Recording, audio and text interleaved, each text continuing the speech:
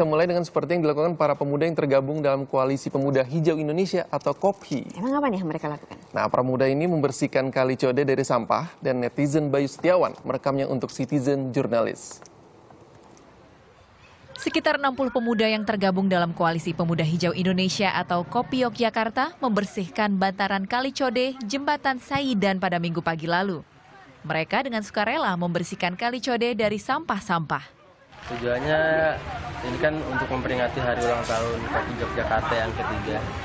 Terus ini merupakan program tahunan kami dan ini yang ketiga kali tujuannya adalah menyadarkan masyarakat bantaran Kalicode untuk sama-sama menjaga kalinya sebenarnya.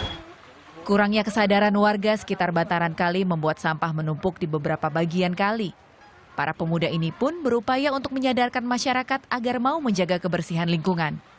Kegiatan ini? uh, ikut acara ini karena intinya saya suka sama lingkungan jadi saya pengen jaga supaya lingkungan khususnya yang ada di Jogja ini bisa nyaman gitu jadi kalau nggak dimulai dari kita dari siapa lagi Kegiatan ini juga diharapkan dapat menghindarkan warga Yogyakarta dari banjir.